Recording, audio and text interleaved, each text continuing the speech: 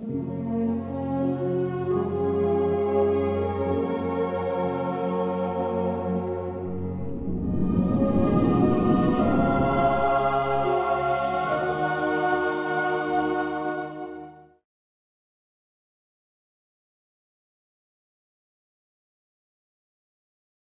个我们讲的这个，嗯，唐代《南海寄归传》，提到了三夫妻，他也管的小西洋。那么小西洋是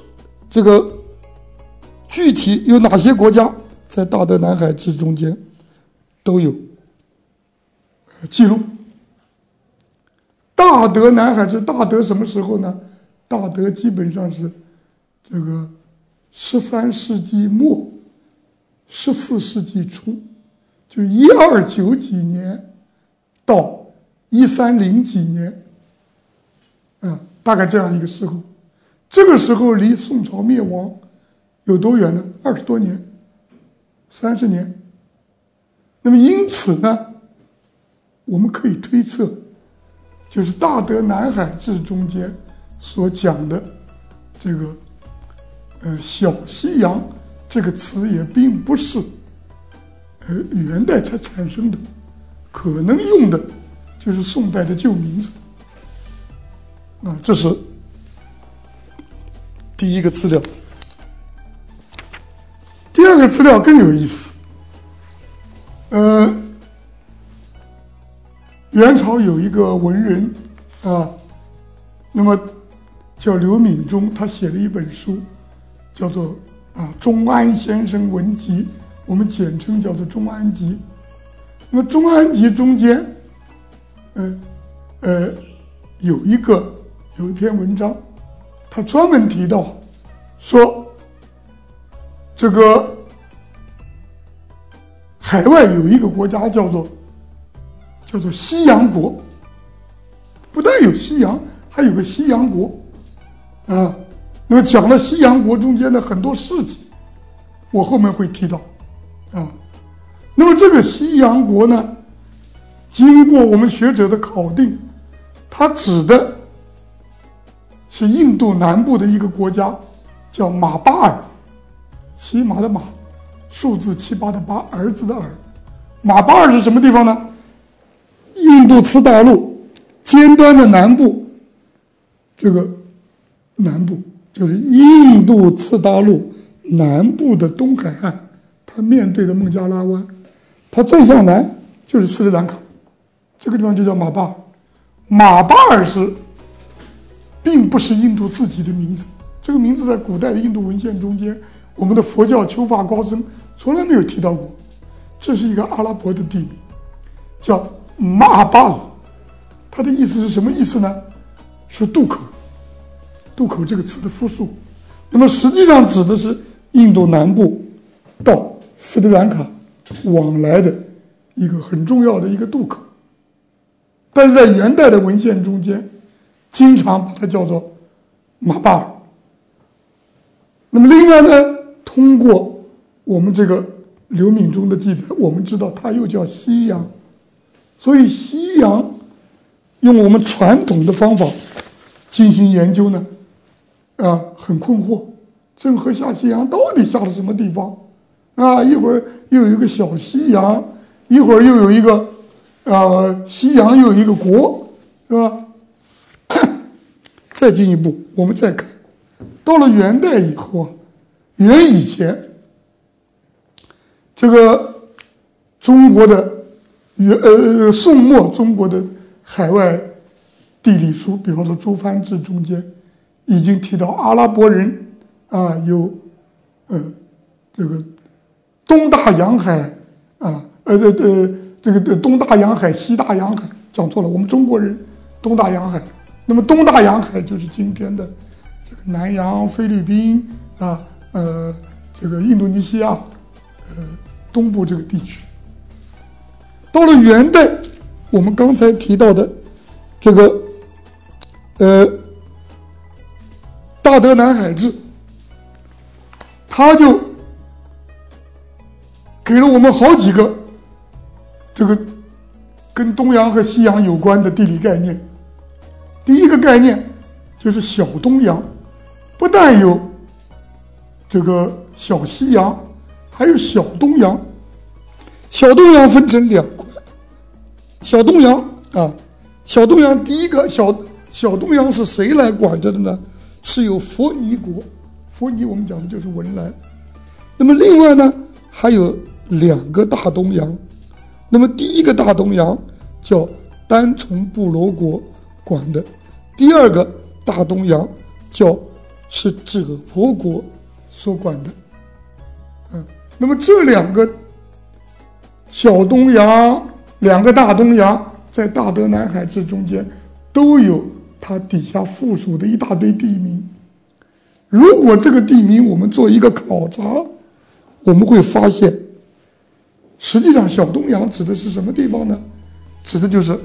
南面到婆罗洲，嗯，那么东面到今天的这个菲律宾列岛、吕宋列岛，大概指的是这样一块，这就是小东洋。那么大东洋呢，两个，一个指的是这个爪哇岛和它的周边地区。第二个呢是都在婆罗洲的南面，第二个大东洋呢是爪哇岛以东的苏拉威西岛，地文啊，普属地普属这边地文这一块地方。呃，那么这一点提示我们，那么这个为什么要一个两个东洋，一个一个大东洋，一个小东洋？那么很可能婆罗洲就是这个加里曼丹岛，从西面也可以到它的南面去。从东面也可以到它的南面去，那么从它西面去的，这就是第一个大东洋。西面过去，绕过了加里曼丹岛，就是爪哇岛，就是者婆，那么因此就是一个一一块大东洋。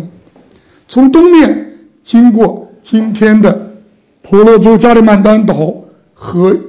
菲律宾所属的巴拉望群岛，我们的南沙靠的在这很近，黄岩岛。我们今年和菲菲律宾发生争分的南沙诸岛这离这儿很近，那么从这儿穿过巴拉望海峡，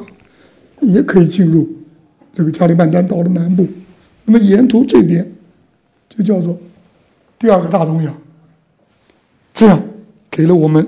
一个这个概念。那么我们再回过头来，再来看一下。我们前面讲到的中国的南海，我们中国人命名海外地名的时候，我前面提到有两套办法。第一套办法就是把外国所有的地名搬过来，比方说红海，我们也不知道那个海红不红，你叫红海，我们就把它翻过来，叫地叫叫红海，啊，那么地中海也是，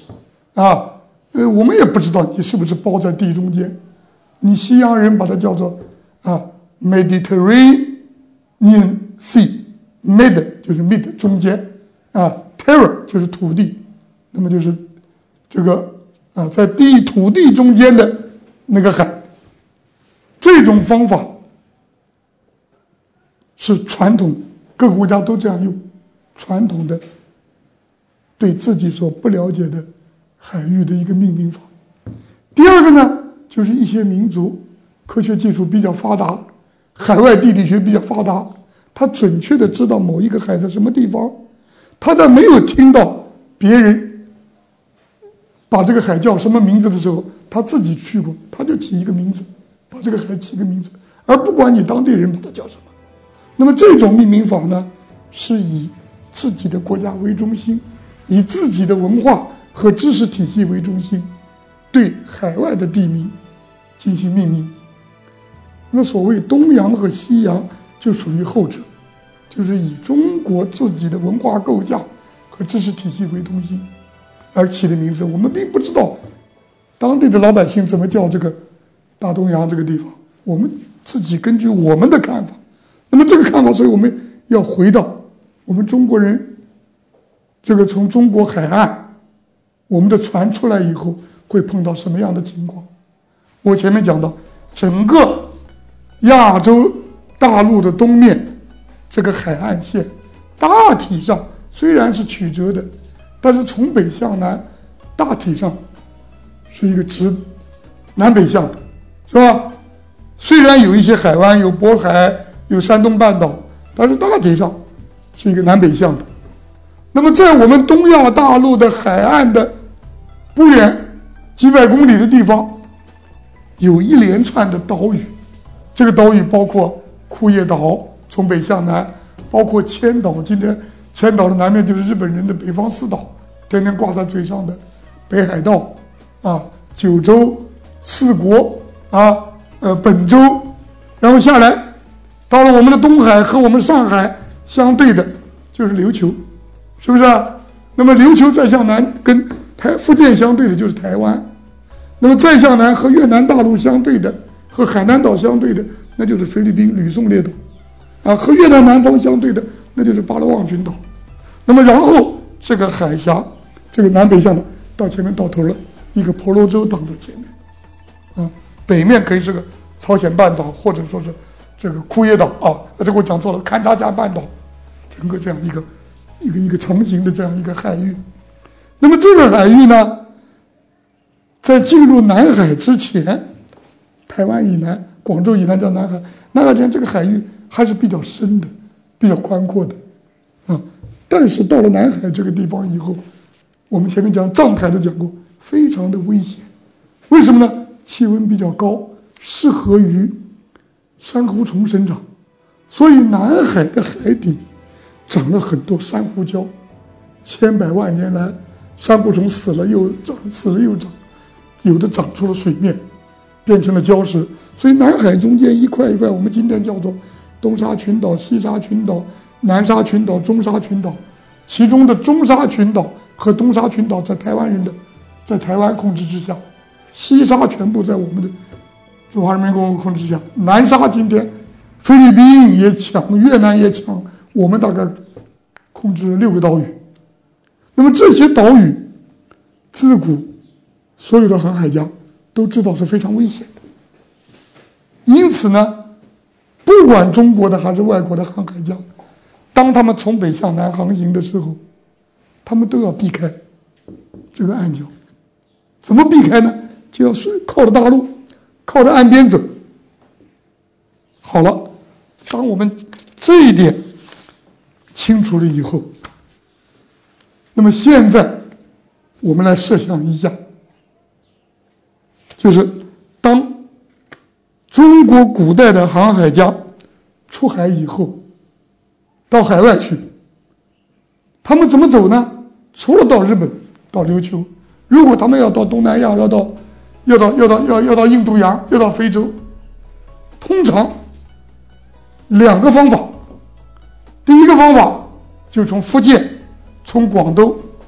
直接向东走，向东走，首先到台湾，或者从广州走到马尼拉、吕吕宋这个地方，就走到了西太平洋岛湖。那么这个时候呢，在这一段是没有任何珊瑚礁的，因为东海没有珊瑚礁。那么然后呢，前面到了南海就有珊瑚礁了，他们就要贴着。西太平洋的岛湖，一个一个岛的沿着一个个岛